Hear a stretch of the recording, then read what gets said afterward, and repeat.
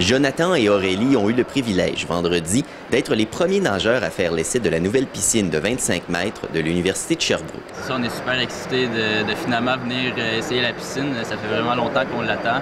Puis euh, ouais, on a super hâte de, de venir commencer à s'entraîner ici.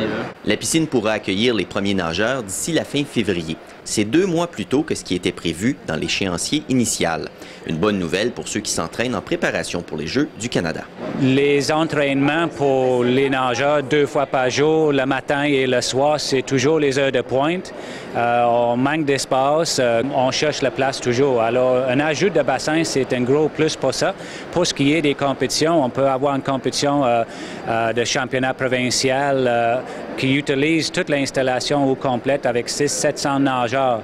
Alors, c'est vraiment un, un grand plus. La municipalité a contribué 4 millions au projet, d'une valeur totale de 11 millions 200 000 Les infrastructures devront être accessibles autant aux athlètes de l'université euh, autant à la population, donc aux payeurs de taxes, aux Charbouquois, Charbouquoises.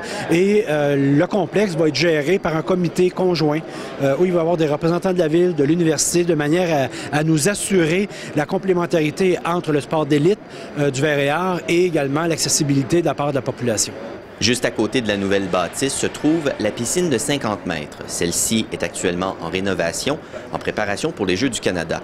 Construite à la fin des années 1970, elle sera entièrement refaite à neuf et modernisée. Il faut le rénover. C'était prévu dans la séquence de commencer par le nouveau bassin et l'ouvrir aussi pour la population charbouquoise et pour la communauté universitaire à compter du mois de février, deux mois plus tôt, et par la suite poursuivre les rénovations dans le bassin de 50 mètres. Les rénovations devraient être terminées à la fin du mois d'avril. William Levasseur pour Estrie Plus à Sherbrooke.